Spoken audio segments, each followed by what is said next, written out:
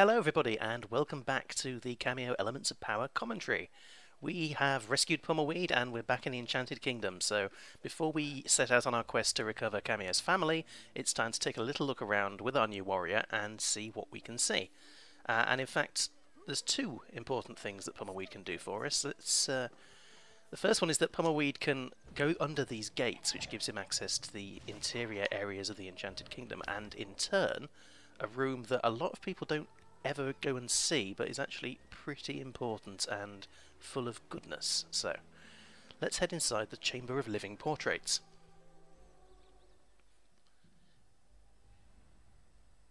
Once we make our way past this loading screen, there we go, there is a crystal eye up there. We'll talk more about those in just a moment, but we can't get that yet. So for now, we're going to wander through, and if you're interested in the backstory of the Elemental Warriors, you can talk to these uh, paintings on the wall, and they will tell you a little bit about the function of each warrior in nature and some backstory.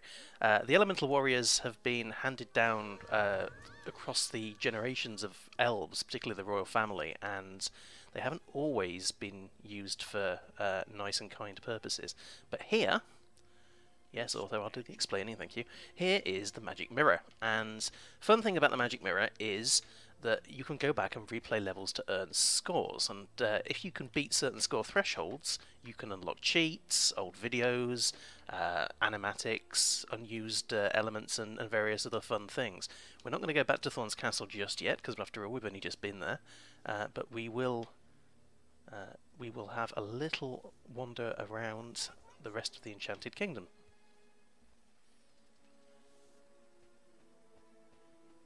Other thing that Pummel Weed can do, he said, waiting for the loading screen to finish, is he can head out, we head out to this beach area here, Pummel Weed will be able to flip the shells that we find on the beach. There's one. Sometimes they don't always have nice things underneath them. There's a, a nasty kind of water crab beastie but this one has an elemental fruit under it, which we are going to use later. Yes, thank you, Ortho. And this one has not much of anything, but this one has something rather special. Yes, this is the uh, downside of leaving your Kinect plugged in. yes, this is a crystal eye. There, look at it, isn't it shiny? Yes. We're going to turn into Kameo and pick it up because the Crystal Eye will go into the Whatnot book and they're a bit like um, equipment in RPGs, I suppose. If you have a look at this one, this is the Eye of Restoration. You see Kameo has uh, a spirit bar, the blue bar underneath her energy, and that gets depleted whenever a warrior uses a particularly powerful attack. The Eye of Restoration if you assign it, uh, will make it take longer for your spirit bar to refill once it's empty, but you will recover health if you're not being attacked. So uh, there's a pro and a con. I'm gonna, I'm going to leave it off for now, but because uh, I like using lots of moves quickly and it helps us zip around the place. But the crystal eye and the fact that it is a crystal eye uh, helps lead into our next topic because when we go back and see the mystic, we're going to learn all about Halis's fate. And in the Xbox version of the game, uh, we would have actually used the crystal eye that I have in my possession. And we'd have found that with Pummel Weed and taken it to the Mystic, and that would have been how we'd have learned where we needed to go next. So we'll go back, say hello to the Mystic, and she's going to grudgingly, I should say, she's going to grudgingly show us where Halis is. The Mystic's plan for Kameo is that she should focus on finding the Elemental Warriors, and her reasoning for that is that it's the only way he's going to, uh, she's rather, is going to be able to stop Thorn, which there's a logic to it, but uh, as you'll come to see, the Mystic has other reasons as well. So there he is. Halis is in the Forest Temple. He's been captured by Old Morwood. So we are going to head to the Forgotten Forest by way of the Badlands. The Badlands is the large battlefield area underneath the Enchanted Kingdom, which we'll get to in a second. But other thing about the Crystal Eye is on the Xbox version there was no battlefield. Uh, you'll see why when we get down there, but that would have meant that the Crystal Eye would have opened this gate and it would have taken us directly to the Forgotten Forest instead. Uh, that's no longer the case though, so we're going to follow the trainer back into the inner areas of the castle. There he goes. Once again, we're going to follow him with Pummelweed.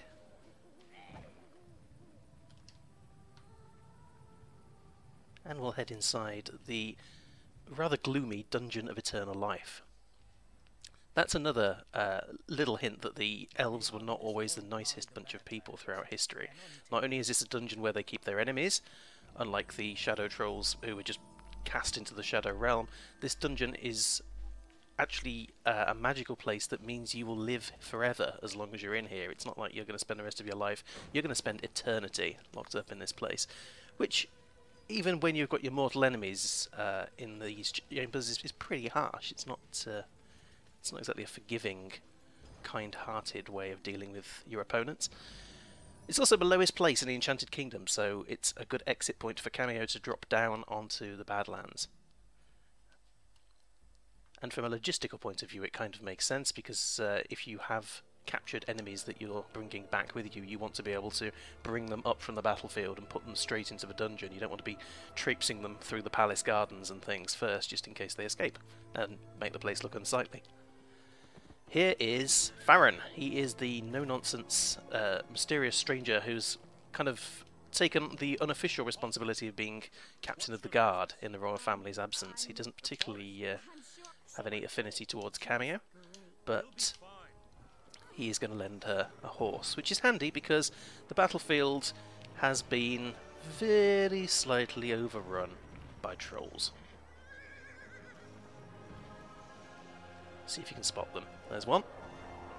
And, yep, there's, there's another one there. So, yep, there's trolls dotted about. And uh, we just keep on pulling back. This is something that only the Xbox 360 version uh, of the game could have handled, which is why the battlefield didn't exist in the original Xbox version. It was a good E3 reveal to be able to swing the camera out and keep going, but we're just going to cut a sway through these trolls here. Make it down to the bottom of the hill. We'll actually turn our map on momentarily so you can get a good look at the, uh, the scale of the battlefield and the size of the place. Here come our forces, the elves as well. Uh, this was uh, kind of a, a last-minute decision to put these soldiers in, uh, but it was a really helpful one because if we turn around now, you'll see that the trolls and the elves are, are fighting, and Ortho actually explicitly says leave the, uh, the trolls for the elves to deal with. If you want to ignore him, you can actually go and wipe out every single uh, elf, uh, every single troll rather. Don't wipe out the elves; they've got their own problems. Uh, the reason for that was that when, when, we didn't have it, a lot of people just assumed that you did need to actually kill all the trolls because that was kind of what they'd been doing up until this point. So, yeah, um, if you want to run around and take out several enemies um, over and over again on your horse, you can do that, but we are going to press on. We have things to do. As you can see, the Badlands is pretty huge. Uh, there are a few places like this hut dotted around. Let's, uh, let's dismount the horse because we're nearly at the nearly at the forest anyway, and I'll just go and have a look inside this hut.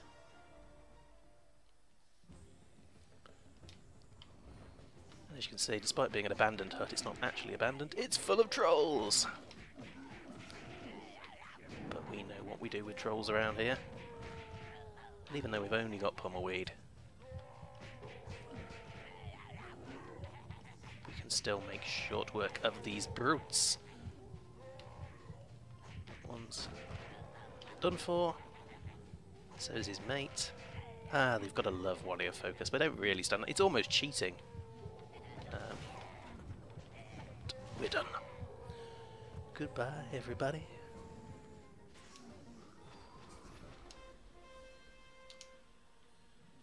As you can see, there's no one left in this hut, but there is money in this hut, which is kind of why we came inside. Because we like runes, we like uh, we like being able to buy things, we like being able to stimulate the Forgotten Forest economy. Anything more in there? Yes, more money for us. Jolly good, 43 runes, that's kind of respectable. Now, let's press on to the Forgotten Forest. I'm not going to bother getting back on the horse because it's only over here. We'll give Kameo's wings an airing. We'll be back to the Badlands later because uh, the Enchanted Kingdom is kept aloft by elemental shrines, and we'll, we're going to need to take a, a, look at those in more detail later on. But for now, we're going after Halis in the Forgotten Forest. Or so we think, but in fact, the Forgotten Forest is currently locked off. But it's okay because there's another Shadow Troll and another Elemental Warrior.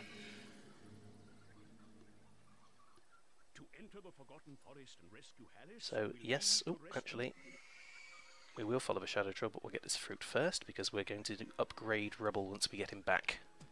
As Ortho has said, we need Rubble. So he is our next objective. Out of the way. These little ostriches uh, actually uh, survivors from uh, another unreleased Xbox 360 game involving Sabreman, so it's nice to uh, see them live on in one form or another. This cloud of bats is the Shadow Troll's preferred way of getting around the place, so we're going to chase it, and ah, it's put some vines in front of us, but not to worry, we can squeeze underneath. It's going to take more than that to stop us from chasing. We'll sashay around those bugs, and we'll beat up this plant, because why not? We have no respect for the local ecosystem. And with the plant defeated, we can make it back under these vines, and we're almost to the Mushroom Cavern. Chasey chasey. These exciting high-speed commentary insights, like Chasey Chasey, which is hopefully keeping you glued to these videos. So there it is, Shadow Troll number 2, behind Shadow Well number 2. It's behind a rickety wooden fence, but if you were watching last time, frankly, if you weren't watching last time, why have you skipped straight to episode 2? That's just weird. We have a rickety wooden fence, we have a shell, we have a pummelweed, we have an explosion. And behind the shadow well, you may notice these dormant statues. They, uh, they have goodies inside them, but there's nothing we can do to activate them yet. However, there is a mysterious plinth with Rubble's face on it. Hmm. What could it mean? let's head back into the Shadow Realm. Now, the first Shadow Troll was a bit of a wuss. Uh, he was almost certainly not one of uh, Thorn's brightest stars, but this Shadow Troll is going to get a little bit more advanced. Hiding as he is behind that pillar. Sneaky, sneaky, sneaky. You'd think after a couple of times Kameo would get used to being snuck up on by these guys, but she never seems to learn. Right, like before, we are going to get a lost soul from the ground when one deigns to make an appearance. There we go. Two at a time this time, so you've got to be careful. And then the Shadow Troll. See if we can get a hit on him. Yes, we can. This Shadow Troll doesn't uh, sit idly and mock you. He is a nimble little chap and likes to whiz around the place, so tracking him down and hitting him before he can move again when he coalesces, like that, becomes important. And there we go. Shadow Trolls, nothing, Kameo 2. And he's going to drop Rubble. Interestingly, the uh, elemental sprites used to have different names uh, to the adult warriors, so this little chap was called Flint Debris. Uh, most of the warriors had different names at one point through development. Pummelweed used to be called Flower Boxer, for example, which uh, is a rather nice pun. And there we go. Kameo has taken Rubble back into the Whatnot book, so his elemental sprite form can be restored into his proper warriorness. But unfortunately for Rubble, his rocks right now will only stun things, and that's no good for us. We want to be able to deal some damage. Because if you stun a troll, uh, he'll be dizzy, but you've still got to get over there with something else and, and finish him off, and uh, as far as I'm concerned, that's a bit of a faff, so we are going to straight away head into the Whatnot book and spend our fruit on Rubble's Razor Stone. As you can see, we have the right amount. It's almost like I know what I'm doing. Also, you'll notice that uh, the bottom most uh, upgrade for any warrior is always uh, a lengthening spirit bar, so they can have twice as much uh, spirit, which is always pretty useful. Right now we're going to give Rubble Spiky Rocks. Yeah, Spiky Rocks! Also, if, you feel like it, you can uh, read a little bit more about Rubble's backstory, and you'll notice that Rubble also comes with an alternate skin or two. These are because the Rare Replay version of Kameo comes with the various DLC packs that were released over time. So there's Rubble's Armoured mode from Expert mode, the Halloween pack, and back to normal. Let's just quickly say there's a just a standard triple skin and a Christmas pack as well from the Winter Warrior pack. There we go. We'll stick with default Rubble for now.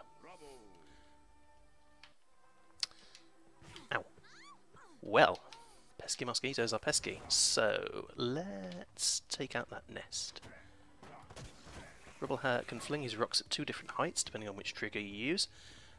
Also, if we head over here and sit on the rubble plinth, the statue is going to start coming to life, and if we feed it a rock, don't worry, they'll always come back to rubble because of reasons. We can lift the cage and get ourselves yet more elemental fruit. Which, in fact, uh, yes, I am going to spend on Pummel Weed. Pummleweed. I'm going to up his spirit. See, he loves it. It's like all of his Christmases at once. we spend a lot of time as Pummel Weed, particularly in the, uh, in the early stages of the game, so it's nice to give him as much spirit as possible. And we're going to grab this elixir to give Kameo herself a top-up. Yes, Kameo enjoys her elixirs. Possibly too much. Right. There's trouble a brewing, so let's use rubble to take out the rest of these mosquitoes, which is going to give us yet more fruit because there's a trapped forest villager over here. Kind of a scientist explorer type who was investigating the uh, the forest cave. And we've unleashed all manner of mosquito related hell upon him, so now we'll tidy up after ourselves, take out the mosquitoes. I believe there's one more, but I can't remember where it is.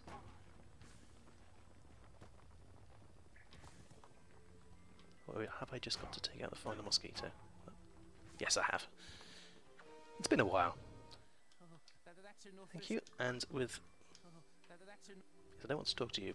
You may leave. Get out of my sight. Away. Away with you. This oversized elemental fruit, which Kameo is still going to put into her knapsack sack because she has that power, is worth three. So it's well worth helping out villagers because uh, the more elemental fruit you have, the more you will win. It's just basic maths. Okay, we have rubble. Let's head back out to the Forgotten Forest and have a little look around the village area. There are four, what we loosely termed adventure areas in Kameo. The first one we've already been around briefly in the form of the Enchanted Kingdom. This is the uh, second that you encounter in the game, but it was the first to be converted.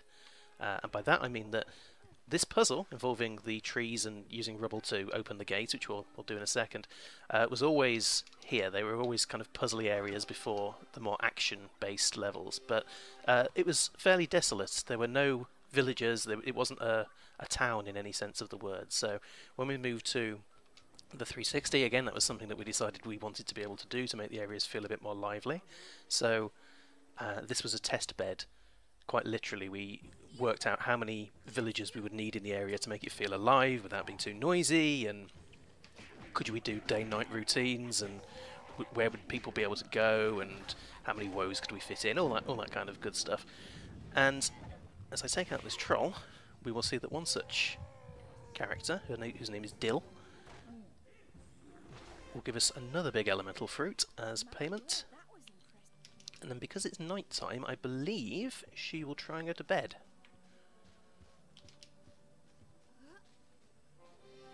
Yep, there we go. And because Dill is a plant, she has a literal flower bed to sleep in. She just dives into the soil and won't come out until morning. Sleep well, Dell. I'm going to break everything in your house in search of money. Money, money, money. There we go. Lovely bunch of runes. We're up to 73 runes now, which means we should be able to head to the shop. I know our uncle is in the grip of an evil demon tree, but we have our priorities straight and we know that shopping is important. So we'll head down to the first of many shops. Because it is night time, some villagers go home, but uh, that cave off in the distance there, just over that bridge, leads to the local cafe, Pumpkin Cafe. Um, so quite a lot of NPCs can be found in there in the evening. So here we can buy a giant heart. These are kind of disposable. They just fill your energy bar back up. Uh, another elixir of life, elemental fruit, and the Fruit Finder newsletter. The Fruit Finder newsletter is a way to find all of the fruits that are out in the wild, not the ones that are given to you by characters that you help, but the ones that are growing or hidden behind crates or wherever that may be. But right now, we're going to get ourselves a bigger wallet. So that as we go through our adventures, we don't hit our money cap. As you can see, actually yes, let's show that off.